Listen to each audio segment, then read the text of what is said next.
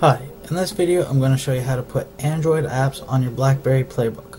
Now the first thing you're going to want to do is plug your Playbook into your computer.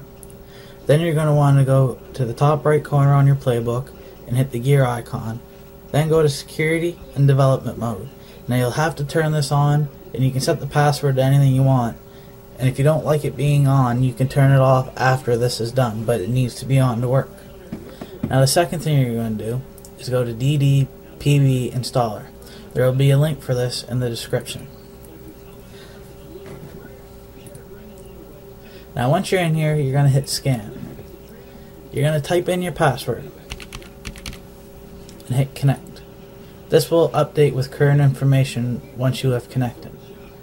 You see it is now updated, so I'm connected. Now I've already installed some, I mean downloaded some applications I want to install. I'll provide a link where you can go download some of these yourself too. And now to install them, all I have to do is click them and click install. Now this will take a couple minutes and as you'll notice, once one is done, if you go to your main screen, the icon will be available immediately. You do not have to restart your playbook. And that is all you have to do to install Android applications on your BlackBerry Playbook. If you found this video useful, please subscribe. Thanks.